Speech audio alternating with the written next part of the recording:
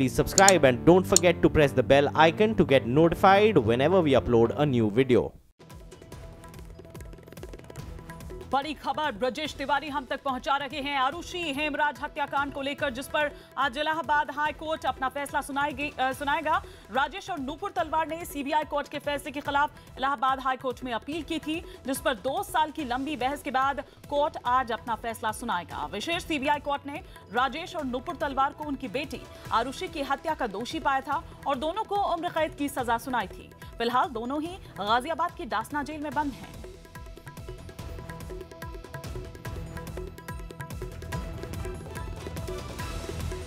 जो पहले कोर्ट ने फैसले किए हैं, उसमें बहुत तथ्य दिखाई देते हैं। और जिसमें माता पिता का इन्वॉल्वमेंट दिखाई देता है।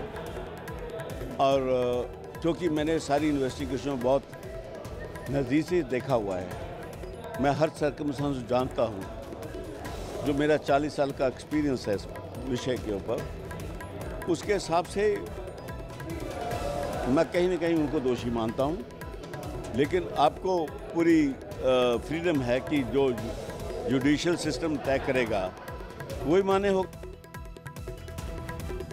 और बेहद अहम फैसला जिस पर सभी की निगाहें, और इस पर चर्चा के लिए हमसे सीधे जुड़ रहे हैं तलवार दंपत्ति के वकील सत्यकेतु सिंह। साथ ही हमारे सहयोगी सीबीआई कोर्ट के बाहर मौजूद हैं ब्रजेश तिवारी और इलाहाबाद हाई कोर्ट की गतिविधि पर नज़र रखे हुए हैं। सर्वेश दुबे। सबसे पहले सत्यकेतु सिंह जी, आपसे ये जानना चाहेंगे कि आखिर ऐसे कौन से बिंदु थे जिसे लेकर आप इलाहाबाद हाई कोर्ट पहुँचे और उम्मीद कर रहे हैं कि आपके पक्ष में फैसला आ सकता है?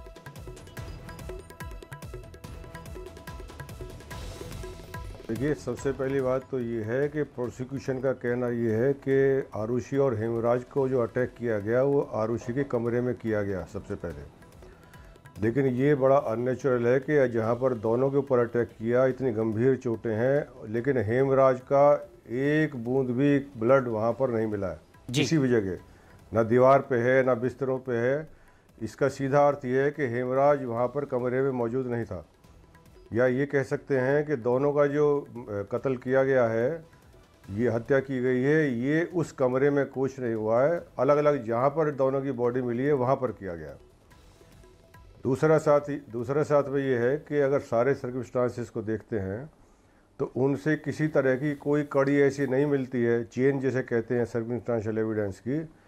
उसके अंदर बीच में मतलब कोई चेन बनती ही नहीं है। जैसे हाइपोथेसिस भी कहें किसी भी तरह से मतलब बहुत कल्पना करें तो भी ये संभव नहीं है कि घटना ऐसी हुई हो। उसका सबसे बड़ा कारण ये भी है साथ में कि जो चोट लगी हुई हैं जो। बॉडी पे दोनों के हैं वो गोल्फ स्टिक से संभव ही नहीं है। तो सारी कहानी जो है, उसमें कहीं आपस में कोई कनेक्शन नहीं है। तो आपको ये काल्पनिक लग रहा है और इसीलिए भी आपने इन बिंदुओं को लेकर हाईकोर्ट में अपील की है। लेकिन गाजियाबाद से ब्रजेश तिवारी हमारे सहयोगी हमसे जुड़ रहे हैं। ब्रजेश, अगर ये दलीलें अभी दी जा रही हाई कोर्ट में तो यही सारी चीज़ें, ये दलीलें सीबीआई कोर्ट में भी गाजियाबाद में पेश की गई थी। तब आखिर क्यों नकार दिया गया था?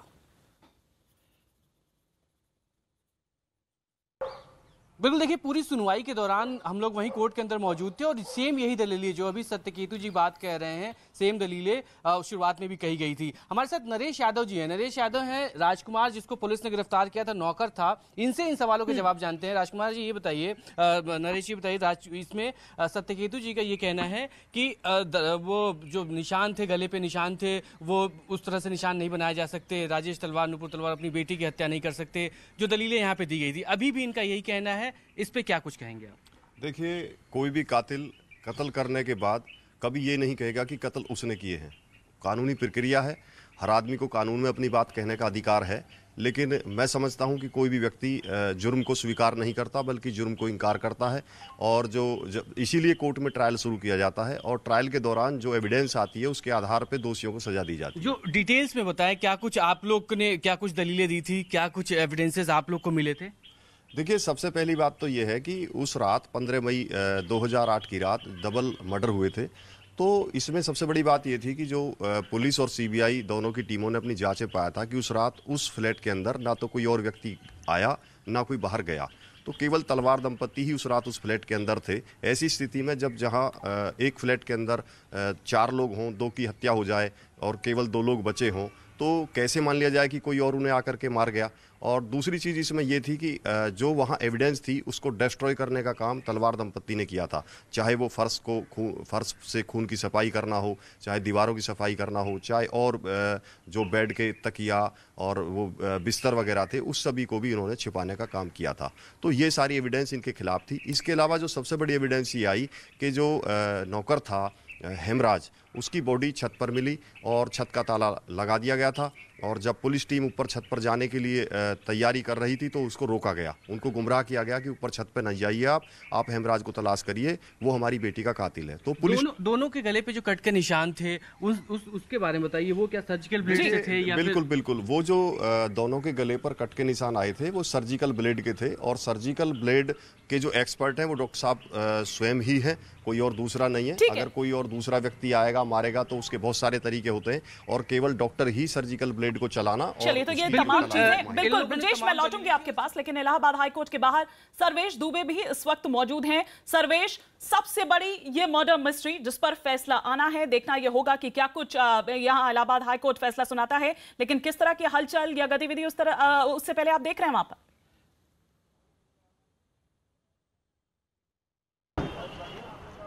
निश्चित तौर पर यह काफ़ी अहम फैसला है और बहुचर्चित नोएडा का आरुषि हेमराज मर्डर जो केस है, इसकी सुनवाई लंबी चली है हाई कोर्ट में। और गाजियाबाद सीबीआई कोर्ट ने इस हत्याकांड के मामले में डॉक्टर नूपुर तलवार और राजेश तलवार को जो उम्र कैद की सजा सुनाई है, उसके खिलाफ डॉक्टर दंपत्ति ने इलाहाबाद हाई कोर्ट में अपील दाखिल की थी और दो साल से ज़्यादा लंबी चली सुनवाई के बाद इलाहाबाद हाई कोर्ट ने इसी साल 11 जनवरी 2017 को इस मामले में अपना फैसला सुरक्षित कर लिया था। कोर्ट में सीबीआई के वकील ने इसके साथ ही साथ याची जिसमें से पिटिशनर नूपुर तलवार और राजेश तलवार हैं। इनके एडवोकेट्स ने बहस की कई तारीखों पर। इसमें बहस हुई, लंबी बहस हुई और तमाम जो सबूत हैं, तमाम जो गवाह हैं, वो यहाँ पर पेश किए गए और उसके बाद कोर्ट ने इसमें जजमेंट सुरक्षित किया था। लेकिन उसके बाद भी इलाहाबाद हाई कोर्ट ने जजमेंट को डिलीवर नहीं किया और दोबारा एक सुनवाई का मौका पिटिशनर्स को दिया और इसके बाद 1 अगस्त 2017 को दोबारा मामले में सुनवाई शुरू हुई और इलाहाबाद हाई कोर्ट की डिवीज़न बेंच ने इस मामले की एक महीने, सात दिन करीब सुनवाई की और सात सितंबर 2017 को इस मामले का जजमेंट रिज़र्व कर लिया गया। अब आज इस मामले में इलाहाबाद हाई कोर्ट दो बजे के बाद फैसला सुना सकती है जिसको लेकर सभी की निगाहें इस पर लगी हुई हैं कि क्या जजमेंट आता है। जिस तरह से गाजियाबाद सीबीआई कोर्ट ने डॉक्टर दंपत्ति को अपनी बेटी और नौकर की हत्या के मामले में दोषी करार दिया था और उम्र कैद की सजा सुनाई थी उसको लेकर यह फैसला काफ़ी अहम हो जाता है कि इस फैसला इस फैसले के आने के बाद डॉक्टर दंपत्ति को कोई रिलीफ मिलती है या फिर गाजियाबाद सीबीआई कोर्ट के जो उम्र कैद का फैसला था वो बरकरार रहता है। आप नज़र बनाए रखें। न्यूज़ रूम से हमारे सहयोगी संदीप कुमार भी हमसे सीधे जुड़ रहे हैं। संदीप जब सीबीआई के जॉइंट डायरेक्टर अरुण कुमार ने जाँच पड़ताल शुरू की थी तो नौकरों पर शक ज़ाहिर किया था। लेकिन जब यही पड़ताल जावेद अहमद के हाथ में गई, बतौर सीबीआई जॉइंट डायरेक्टर तो उन्होंने शक की सुई, तलवार दंपत्ति की ओर घुमा दी। क्या इस तरह की पेचीदगी इलाहाबाद हाईकोर्ट में इन्हें कोई हेल्प कर सकती है? कुल मिला के ये जो पूरा मामला है, इसमें शुरुआत से ही काफ़ी सारे आप कह सकते हैं, मोड़ आए हैं और अजीबो गरीब चेंजिंग हुई है। जैसे कि, जैसा कि आपने कहा, पहले जो आईओ थे अरुण कुमार, उन्होंने फादर मदर के बजाय नौकरों को अरेस्ट किया था और उनका मानना था कि नौकरों ने ही आरुषि और हेमराज का मर्डर किया है और बाकायदा इन नौकरों का नार्को एनालिसिस टेस्ट भी कराया गया था और वो जो पहली टीम थी, वो ये मान के चल रही थी उसी दिशा में काम कर रही थी कि इन नौकरों ने ही मर्डर किया था। लेकिन अचानक उसके बाद से सीबीआई ने एक दूसरा आईओ अपॉइंट किया और इस आईओ ने अपनी जाँच शुरू की और उसका दूसरे आईओ का जो जाँच अधिकारी था उसका सीधा उसकी जाँच जो थी वो नौकरों से हटके पेरेंट्स पे आ गई और पेरेंट्स को उन्होंने वो मानते थे कि पेरेंट्स ने ही इनका दोनों की हत्या की और है। यही कमियाँ भी रही है कि पुलिस और सीबीआई की रिपोर्ट में विरोधाभास दिखता है। सीबीआई की एक टीम आती है जब वो जाँच कर रही है अगर सही दिशा में जा रही है तो फिर दूसरी टीम क्यों आती है? ये तमाम ऐसी चीज़ें हैं जो प्रशांत भी यहाँ पर कह रहे थे, तमाम ऐसी चीज़ें जो चौंकाती है। बिल्कुल, देखिए, और जो दूसरी टीम टीम थी, उसने भी जाँच की और अल्टीमेटली उनको प्रत्यक्ष कोई साक्ष्य नहीं मिला। जो आप कह सकते हैं कि साफ़ साफ़ कोई सबूत मिला हो, वो सबूत नहीं था उनके पास। उनके पास सिर्फ़ सर्कमस्टांशियल एविडेंसेस थे और उसी आधार पे इन्होंने लोअर कोर्ट यानी गाजियाबाद की जो सीबीआई अदालत थी, उसमें इन्होंने क्लोजर फ़ाइल किया था और कहा था कि हमारे पास सिर्फ़ सर्कमस्टांशियल एविडेंस है, कोई प्रत्यक्ष प्रमाण नहीं है। इसके बाद कोर्ट ने ये फैसला किया कि इस सीबीआई की जो क्लोजर है, उसको चार्जशीट में कन्वर्ट किया जाए और उसके बाद हियरिंग शुरू की जाए। यानी कि कोर्ट भी प्राइमा फेसाई ये मान के चल रहा था जो क्लोजर फ़ाइल किया गया था उसके आधार पे कि कहीं ना कहीं तलवार तलवार दंपति ने ही आ, इस घटनाक्रम को अंजाम दिया है और उसके बाद आगे सुनवाई हुई और कोर्ट ने पाया कि इस पूरे मामले में तलवार दंपति ही दोषी है। उन्होंने ही हेमराज और मर्डर हेमराज और आरुषि की हत्या की है और उसके बाद लोअर जो सीबीआई की विशेष अदालत थी उसने उनको उम्र कैद की सजा सुनाई। बिल्कुल। सत्यकेतु सिंह तलवार दंपति के वकील भी लगातार हमारे साथ बने हुए हैं। सिंह साहब नरेश यादव जो राजकुमार के वकील हैं वो ये कह रहे हैं कि जो सर्जिकल वेपन है वो डॉक्टर्स के पास ही होता है और जो माना गया है कि जिससे हत्या की गई है। आप आखिर आप इसका विरोध क्यों कर रहे थे? डॉक्टर है उनके पास इस तरह का वेपन हो सकता है?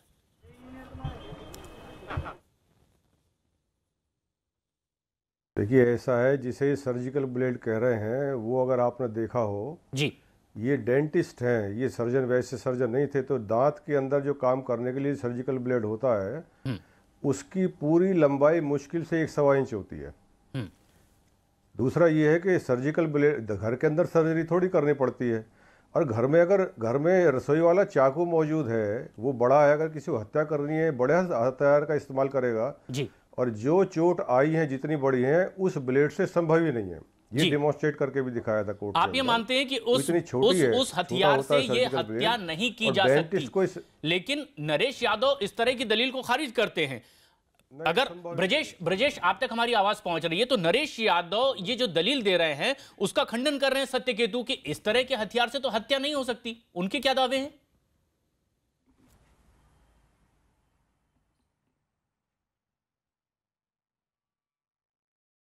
जी, सवाल एक बार दोहराएगा ब्रजेश, सत्यकेतु सिंह तलवार दंपति के वकील ये कह रहे हैं कि जिस वेपन का दावा किया गया हत्या करने के लिए इस्तेमाल करने का, उससे इतना बड़ा कांड अंजाम नहीं दिया जा सकता। उसकी बमुश्किल लंबाई एक इंच होती है।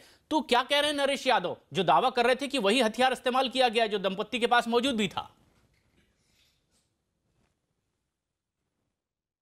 बिल्कुल सीधा नरेश जी से बात करते हैं। नरेश जी, इसमें सत्यकेतु जी का ये कहना है कि जिस हथियार से, यानी सर्जिकल ब्लेड से जो हत्या की गई है, जिस हिसाब से आशंका जो थी, उतना बड़ा घाव सर्जिकल ब्लेड से अंजाम नहीं दिया जा सकता। देखिए जो फॉरेंसिक टीम है, जो जिन लोगों ने इस पर इन्वेस्टिगेशन किया है वो सभी लोगों का ये कहना है डॉक्टरों की टीम का ये कहना है पोस्टमार्टम डॉक्टर का ये कहना है कि ये सर्जिकल ब्लेड से गला रेते गए हैं। अब एक आदमी ये कहता रहे कि उससे अंजाम नहीं दिया जा सकता नहीं दिया जा सकता तो मैं इसका क्या जवाब दूँ? हम्म। क्योंकि ये तो इन्वेस्टिगेट हो चुकी है सारी चीज़ें कि भी गले सर्जिकल ब्लेड से काटे गए या किसी और हथियार से काटे गए तो सबकी जाँच और जो भी राय आई है जो भी एक्सपर्ट ने जो भी कहा है वो यही कहा है कि गला जो है वो सर्जिकल ब्लेड से रेते गए हैं। तो इससे बड़ी एविडेंस और क्या हो सकती है? यानी फॉरेंसिक जो रिपोर्ट्स है वो सब आप लोग के पास है? बिल्कुल सभी सभी चीज़ें कोर्ट में आई हैं ट्रायल के दौरान ये सब मुद्दे उठे हैं। आप बिल्कुल ये सब मुद्दे उठे हैं ये सब दलीलें भी दी गई हैं नरेश यादव जी को भी हमने सुना सत्य केतु जी को भी हमने यहाँ पर सुना लेकिन संदीप ऐसे में किसकी थ्योरी पर फिर यहाँ पर मोहर लगेगी आज? ये यहाँ पर सोचने वाली बात होगी क्योंकि यही तमाम दलीलें तो पहले भी थी। मामले में उसने सुनवाई की है और वो किसका पक्ष मज़बूत मानती है? सीबीआई का या तलवार दंपति के वकीलों का? ये कोर्ट का कोर्ट पे ही निर्भर करता है कि वो इस पूरे मामले में क्या फैसला देगी। लेकिन जो स्टैंड सीबीआई ने लोअर कोर्ट में रखा हुआ था वही स्टैंड सीबीआई का यहाँ भी है। और ये एक इंपॉर्टेंट बात इसमें यह है कि सर्जिकल ब्लेड की बात की जा रही है लेकिन इस पूरे मामले में एक इंपॉर्टेंट चीज़ थी गोल्फ क्लब हम्म। उस पूरे जाँच में ये बात आई थी सामने की पहले गोल्फ क्लब से इनके सर पर मारा गया था और उसके बाद फिर ये इन दोनों का गर्दन काटा गया था सेम पैटर्न पे। तो वो गोल्फ क्लब भी जाँच के दौरान कई महीनों बाद सीबीआई ने बरामद किए थे। हालाँकि वो पूरी तरह से साफ़ सुथरा हो गया था, कर दिया गया था और उसमें कोई विशेष एविडेंस नहीं मिला था सीबीआई को। तो अब ये इलाहाबाद हाई कोर्ट ही तय करेगा कि सीबीआई की जो इन्वेस्टिगेशन है और उसकी दलील है, वो हाई कोर्ट को ठीक लगती है या तलवार दंपति को की दलील उन्हें ठीक लगती है और उसी आधार पर फैसला आएगा। पहले से कोर्ट के आदेश ऑर्डर को और फैसले को लेकर हम कुछ कह नहीं सकते, हिमानी। बिल्कुल। सत्यकेतु सिंह जी जिस तरह के दावे प्रति दावे होते रहे कोर्ट में आज तो अब हाईकोर्ट को फैसला भी सुनाना है। लेकिन ये बात भी कही गई कि वहाँ चार लोग ही मौजूद थे तलवार दंपत्ति हेमराज और आरुषि। ऐसे में दो की हत्या हो गई दो ही मौजूद थे। आखिर आपके ठोस दावे क्या है कि आखिर बाहर से आकर किसने हत्या की? जी। देखिए ये जब जब इस पर इस प्रकार का जो परिस्थिति जन्य साक्ष्य होता है सर्कमस्टांशियल एविडेंस होती है जी। रिकॉर्ड के ऊपर इस तरह की कोई एविडेंस जिसे क्रेडिबल एविडेंस माना जाए कि फ्लैट के अंदर केवल चार लोग थे ऐसी कोई एविडेंस नहीं है। बल्कि इसके खिलाफ एविडेंस है कि वहाँ पर ती, ती, दो लोग और की संभावना है। ये मिस्टर के के गौतम जो एक्स पुलिस ऑफिसर हैं उनके स्टेटमेंट से ज़ाहिर है। सीबीआई को भी उन्होंने ये स्टेटमेंट दिया था कि हेमराज के कमरे में गिलास भी पाए गए थे। हेमराज के कमरे में जो चादर बिछी हुई थी जो गद्दा है उसके ऊपर स्पॉट उसके ऊपर जो है डिप्रेशन था कि तीन आदमी और बैठे हुए हैं वहाँ पर। तो और दूसरा ये है कि फोर्स एंट्री नहीं है फ्रेंडली एंट्री थी। फ्रेंडली एंट्री हेमराज ने कराई थी अपने मित्रों की। जी। अब देखना ये है तो कि इन ही तमाम दावों प्रतिदावों के ही बाद आखिर कोर्ट की तरफ़ से क्या फैसला आता है जो आज तकरीबन दो बजे के आसपास आ सकता है। आप सभी का हमसे चर्चा के लिए जुड़ने के लिए बहुत बहुत शुक्रिया। आरुषि हत्याकांड में उम्र कैद के खिलाफ माँ बाप राजेश और नूपुर तलवार की याचिका पर इलाहाबाद हाईकोर्ट आज सुनाएगा फैसला। गुजरात दौरे के आखिरी दिन राहुल गांधी ने पीएम मोदी पर तंज कसते हुए कहा 2028 में लोगों को चाँद पर घर देंगे पीएम मोदी। 2030 में चाँद को नरेंद्र मोदी धरती पे ले आएँगे। मोदी सरकार ने दिवाली पर केंद्रीय और प्रादेशिक विश्वविद्यालयों के आठ लाख शिक्षकों को सातवें वेतन आयोग का तोहफा दिया। पाकिस्तान में नजरबंदी से आज़ाद हो जाएगा भारत का मोस्ट वांटेड आतंकवादी हाफिज सईद क्योंकि लाहौर कोर्ट ने सबूतों को नाकाफी बताया। कश्मीर सरकार के बेटी बचाओ बेटी पढ़ाओ पोस्टर पर मुख्यमंत्री महबूबा मुफ्ती के साथ अलगाववादी नेता आसियान द्राबी की तस्वीर के छपने पर बवाल के बाद अफसर सस्पेंड और जाँच शुरू। हनीप्रीत को लेकर हरियाणा पुलिस की एसआईटी राजस्थान के श्री गंगानगर में गुरमीत राम रहीम के पैतृक गाँव गुरसर मोडिया में सबूत तलाशती रही।